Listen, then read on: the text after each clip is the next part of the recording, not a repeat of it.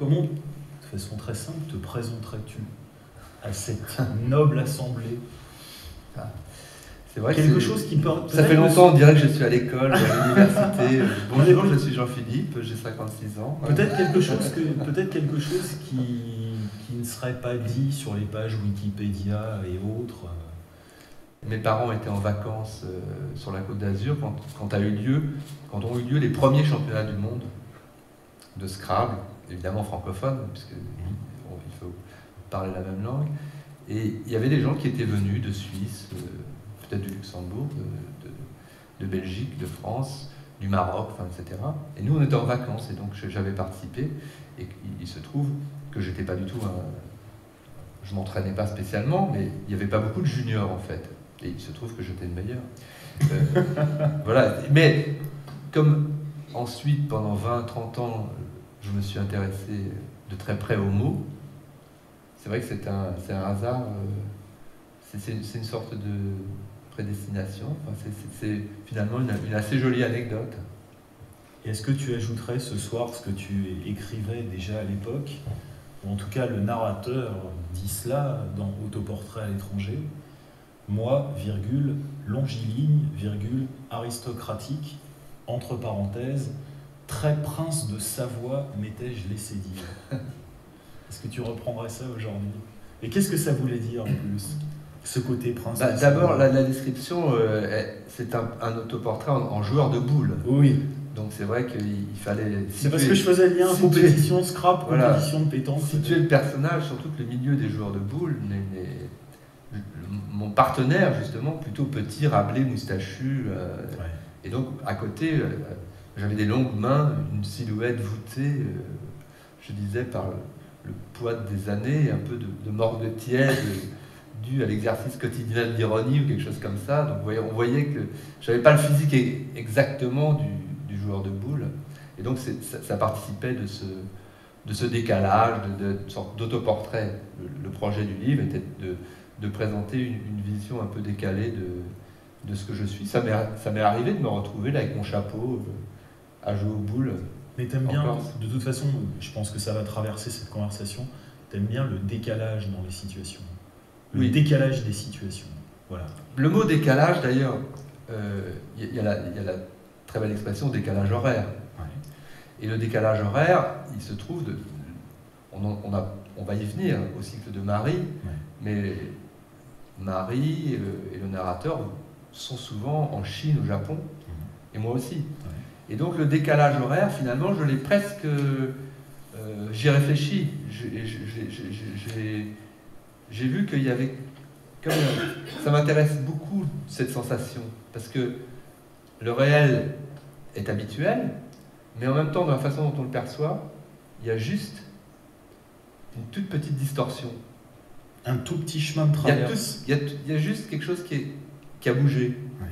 Oui. Et, donc, il y a à la fois cette, familiarité du réel, cette objectivité du réel, cette, euh, euh, il, est, indéniable, mais en même temps, on le perçoit de façon très légèrement euh, différente. Et je pense qu'un écrivain, d'une façon générale, on peut dire que le regard d'un écrivain, c'est ce regard légèrement décalé.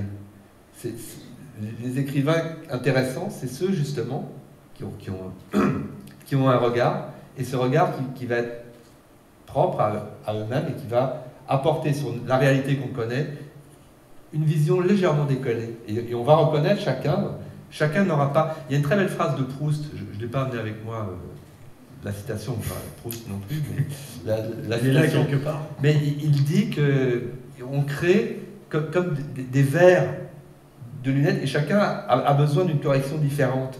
Et pour lire le monde, et, je trouve ça extrêmement intéressant, cette métaphore euh, qui est dans le temps retrouvé, mais je n'ai pas retrouvé quelle page. C'est aussi euh, cet esprit qu'a repris euh, quelqu'un que nous connaissons aussi tous les deux, Philippe Dion, lorsqu'il dit, c'est une phrase que j'aime à citer souvent, moi qui viens du journalisme généraliste, la littérature est une question de focale. Donc on est vraiment dans cette image de, euh, effectivement, de, de, de, miroir, de loupe, de, de verre correcteur peut-être Je me souviens d'un débat qu'on a fait ensemble à Senef Oui, avec Philippe Durand absolument. et d'une métaphore qui était très intéressante. Et il, il- il parlait de, de- des fréquences radio. Oui. Et, et il disait que quand on, on- on va sur la bande FM, on tourne et à un moment, il y a des tas de trucs qui, qui bougent, qui sont pas justes. Et à un moment, il y a la bonne fréquence. Et que l'écrivain, d'une certaine façon, il doit trouver cette bonne fréquence. C'était une, assez jolie métaphore de, Philippe Durand, cette fois-ci. Alors ce soir, bah, je pense que vous l'aurez vu sur l'immense panneau euh, qui se trouve derrière nous. Euh, Jean-Philippe Toussaint, donc lecture de Nu, euh, édition minuit euh, 2013. Nu étant ton dernier opus, je crois. Question tout de suite d'emblée, avant que tu nous en lises un passage, est-ce qu'on n'aurait pas dû dire lecture de Nu, lecture de fuir, lecture de la vérité sur Marie et lecture de faire l'amour? Pourquoi dis-je ça? Parce que finalement, c'est une tétralogie romanesque. J'aime pas beaucoup le terme, hein, j'aime pas beaucoup l'expression pour être tout à fait honnête, mais en tout cas, c'est un, c'est un corpus de quatre livres, de quatre romans. Euh, Est-ce que on peut en prendre un isolément, comme on va faire ce soir? Est-ce que on est obligé, enfin en littérature après tout on est obligé de rien d'ailleurs, mais est-ce qu'il vaut mieux envisager ça dans, euh, dans une construction globale ou non? Alors en fait, euh, au début, quand j'ai commencé à, à écrire Faire l'amour, le premier, je n'avais Ouais. pas du tout d'idée d'une architecture globale. Mais dès que j'ai continué, que j'ai écrit le deuxième, qui est Fuir, je me suis dit que c'était très intéressant de, de procéder de cette façon-là, et donc d'écrire à chaque fois des romans qui étaient autonomes, mais qui s'inscrivaient également dans un ensemble. Et au moment de, de Nu, euh, il se trouve que c'est le quatrième, donc euh, se- selon qu'on privilégie le, le grec, on, dit- on dira tétralogie. Avec le latin, on pourrait dire quadrilogie. Donc ouais, peut, peut, on, peut tenter, on peut tenter de latin aussi, c'est peut-être plus élégant. Enfin bon, il y, a quatre côtés. Et c'est vrai que pour moi, du coup, ça crée une sorte de, de- de figure géométrique. Ouais. Et comme elle a quatre côtés, je, je garde le, le grec, ce serait un tétraèdre. Et, ce- et ce tétraèdre, en fait, aurait quatre côtés, et pour moi, ces quatre côtés seraient transparents. Et, j'invite le lecteur à rentrer par n'importe quel côté. Et en rentrant par n'importe quel côté, en fait, il a quand même, il y a quand même des résonances avec les trois autres. Et c'est ça qui m'intéresse. C'est-à-dire que cette figure, en fait, on peut la prendre, elle n'est pas du tout, ça, ça m'intéressait pas du tout de, faire un ensemble chronologique avec quatre parties. Euh, je propose pas du tout quelque chose qui, commence par le, le premier, le deuxième, le troisième, le quatrième. Ce qui me plaît, c'est ce côté, euh, euh, le lecteur peut commencer par celui qu'il veut. Et donc, moi, ce qui m'intéressait, c'est chaque fois de créer un livre qui est autonome, mais en même temps dans lequel il y a des résonances, des échos avec les autres. Et, et- et cette idée de, de- de- figure géométrique transparente, à mon avis, rend, rend compte de ça. Et donc, euh, ce que j'explique là maintenant, je l'ai trouvé qu'à la fin. Mais je pense que ça, ça, ça résume ce que j'ai voulu faire. Et donc, Nu, en particulier Nu, le dernier, euh, est rempli d'échos des précédents livres. Si on n'a pas lu les précédents livres, c'est pas très grave, mais si on les a lus, c'est mieux, parce que ça, ça va revenir des choses que vous aurez lues quelques années plus, plus tôt, vont, vont interagir avec votre lecture. Je donne un exemple. Euh, dans Nu, je poursuis euh, une scène qui se passe au Contemporary Art Space de Shinagawa. Et cette scène, elle, est- elle est traitée dans, dans Faire l'amour. Et dans Nu, je raconte ce qui se passe deux jours après. Mais si vous les avez lus dans l'ordre de la publication des livres, vous aurez lu la première scène qui raconte ce qui se passe au musée en 2002. Et vous n'avez accès à ce qui se passe deux jours après qu'en 2013. Ce qui crée une, so- une sorte de, de, de- de distorsion dans le temps très étonnante. Et donc ça, ça- ça donne une sorte... Je me sers presque... Tout- toujours la distorsion. Oui, et puis, et puis, et puis je me- c'est presque une expérience. Ouais. Je me sers de la perception réelle du temps par le lecteur. Ouais. Et donc, vous, enfin ceux qui ont lu dans l'ordre, hein, Ouais. mais euh, ils vont avoir des souvenirs liés à leur propre vie. Ils vont avoir des souvenirs de leur propre lecture. Et, et elle va interagir avec ce qu'ils sont en train de lire maintenant. Et donc, je, donne une sorte de poids supplémentaire à mon temps romanesque. donc c'est une expérience, je trouve, finalement très intéressante et, et inédite. Enfin, j'ai pas tellement de, qu'on peut retrouver dans la lecture de Proust. C'est-à-dire qu'en fait, quand on lit Proust, il peut arriver, comme il est rare qu'on lise Proust tout, tout d'affilée en, deux mois. C'est une lecture qui, qui, nous prend plusieurs années de notre vie, ou, même plusieurs décennies. Mm. Et, quand on lit Proust, on, va, on va lire un passage qui va nous rappeler un autre passage précédent, et qui va interagir avec notre propre vie à l'époque. Moi, je sais très bien que À l'ombre des jeunes filles en fleurs, je l'avais lu en Algérie, et si je relis un autre passage qui va me rappeler À l'ombre des jeunes filles en fleurs, ça va également me rappeler le moment où moi je l'ai lu. Et donc, cette façon, j'ai voulu aussi, d'une certaine façon, la tenter dans ma euh, tétralogie. Toute dernière question avant de passer au, premier extrait, donc euh, extrait de, de Nu. Euh, qui sont euh, peut-être encore une fois pour des gens qui d'aventure ne, ne t'auraient pas lu, qui sont quand même les deux protagonistes principaux de cette de cette tétralogie. Euh, vous avez cité tout à l'heure euh, Marie-Marguerite de Montalt, qui a un nom extrêmement long, très extrêmement compliqué. Et puis il y a un narrateur. Qu'en dirais-tu de ces, de ces deux personnages-là Et peut-être pour nous amener à comprendre enfin en tout cas sinon comprendre, du moins entrer dans un parfum romanesque, celui de nous? Les, deux personnages, je, les ai créés la première fois euh, au moment, quand j'écrivais le livre Faire l'amour. C'était en quelle année Peut-être peux-tu préciser? Il est sorti en 2002. Donc moi j'ai commencé à, vers 2000, enfin avec, avec le nouveau millénaire. Euh, l'idée a commencé à, à trotter. 2002-2012, on va dire. Ouais, 2002, 2002, 2013. 2013. Mais, en effet, euh, c'est. Mais c'est symbolique que j'ai commencé avec le siècle, enfin avec le millénaire. Enfin, pour moi, c'était aussi une sorte de. un renouvellement dans ce que j'avais écrit. C'était le moment de, passer à autre chose et, ça. La, la, date est très symbolique. Euh, il y a vraiment le tournant du siècle et même du millénaire, ça c'est pas de ma faute, c'est comme ça. Euh, et, ça, marque vraiment. Alors, j'aurais été tenté naturellement, si je n'avais pas réfléchi, à faire du narrateur un artiste ou euh, quelqu'un qui, aurait eu le, rôle social dominant. Parce que c'est ça comme ça chez moi.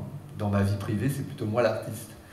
Euh, et je me suis dit que c'était très intéressant de, donner la, la, position dominante socialement à la femme. Parce que le narrateur, déjà, il a la parole. Donc, pour moi, le, narrateur est certes mon représentant, parce que c'est l'homme et c'est lui qui a, la parole, et, donc instinctivement, je, sais comment il va se comporter.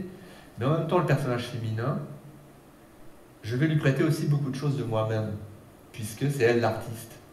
Et la façon dont Marie, par exemple, arrive au Japon euh, pour une exposition, je me suis servi de choses autobiographiques, la façon dont je raconte les, rendez-vous avec le directeur du musée, les, interviews, la fatigue, toutes ces choses-là, ce sont des choses que j'ai prêtées à Marie. Et donc, Marie, pour répondre à ta question, est une créatrice de mode qui est aussi, parce que maintenant les, créateurs de mode sont très proches euh, de l'art contemporain aussi, j'ai voulu traiter aussi ce personnage comme un personnage emblématique de notre époque, de notre temps. Euh, les défilés de mode, par exemple, dans les années 60, quand on voit les, défilés euh, Yves Saint Laurent des, années 60, c'est presque dans des appartements, avec les, tout est très convenable, très petite échelle, une sorte de silence, des, cartons. Ça a beaucoup changé. Ça a beaucoup, changé, Et c'est devenu des, shows, c'est devenu des. C'est presque du spectacle vivant. C'est du spectacle. une, il y a une scénographie, il y a de la musique. Donc moi, j'ai voulu le défilé que je raconte en, prologue euh, de Nu, je me suis inspiré de ce type de, défilé. Et aussi, ça me semble tout à fait euh, emblématique de faire des créateurs de mode, des gens qui sont très proches de l'art contemporain. Et que Marie fait également une exposition d'art contemporain me semble tout à fait euh, collé à, à l'époque. Et donc, je vais lire maintenant euh, deux extraits du prologue de Nu euh, qui raconte la, le défilé d'une robe particulière qu'a créé Marie. On est là encore dans, quelque chose de, de, Marie, vraiment personnage public, créatrice de mode, donc assez d'une certaine façon proche d'un monde de paillettes, de superficialité. Et le deuxième extrait que je lirai plus tard, quand tu me redonneras la parole pour la lecture, euh, j'aborderai quelque chose de plus essentiel du personnage de Marie, parce que finalement, Marie était un personnage, je crois, et c'est ça qui est intéressant chez elle, très ambivalent. C'est-à-dire qui n'est pas tout d'un seul tenant. Elle est à la fois une créatrice de mode, donc quelqu'un très inscrit dans le monde contemporain, très superficiel, on pourrait dire, très euh, paillette, mais d'autre côté, il y a quelque chose chez elle d'essentiel, qui, qui, est d'humain lié à la nature, que le, que le narrateur décèle chez elle.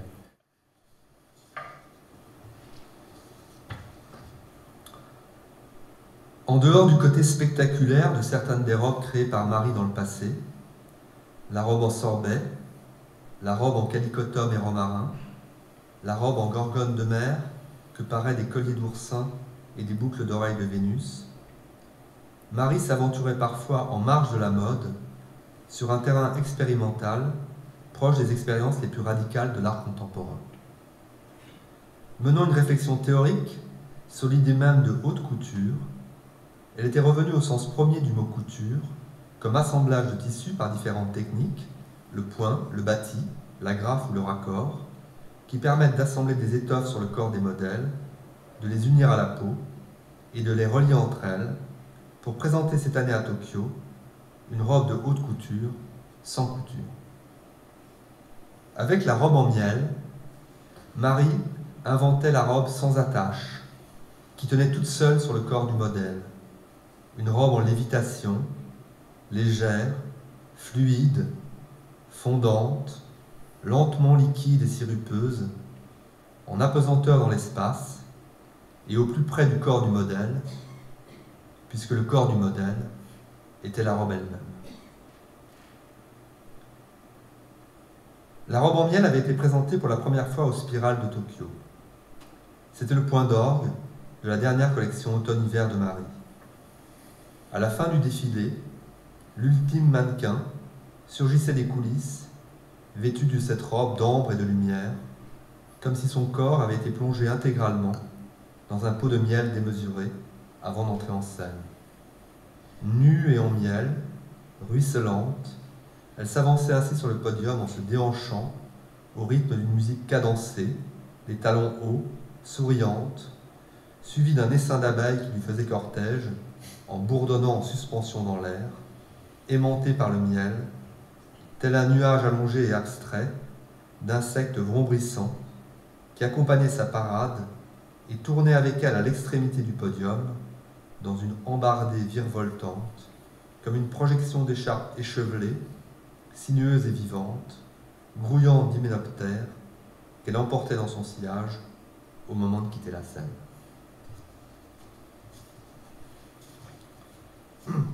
Alors je vous lis maintenant la, conclusion de,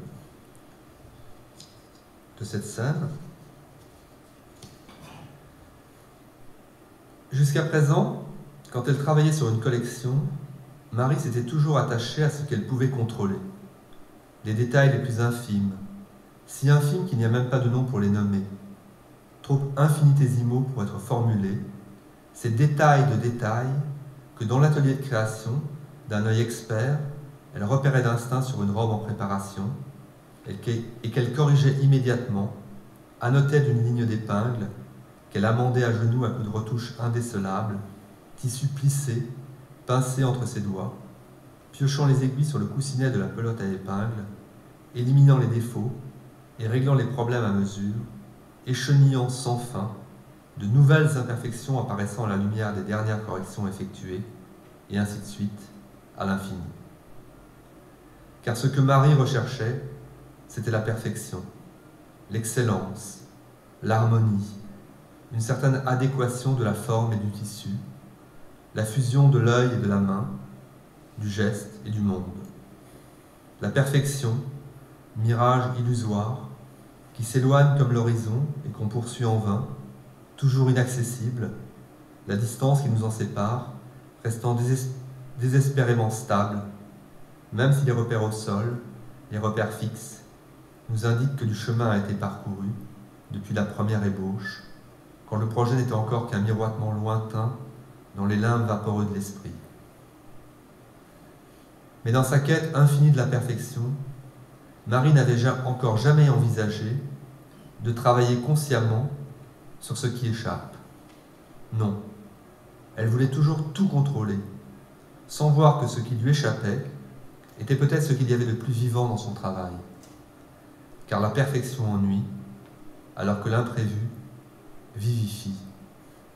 La conclusion inattendue du défilé du spiral lui fit alors prendre conscience que dans cette dualité inhérente à la création, ce qu'on contrôle, ce qui échappe, il est également possible d'agir sur ce qui échappe et qu'il y a place dans la création artistique pour accueillir le hasard, l'involontaire, l'inconscient, le fatal et le fortuit.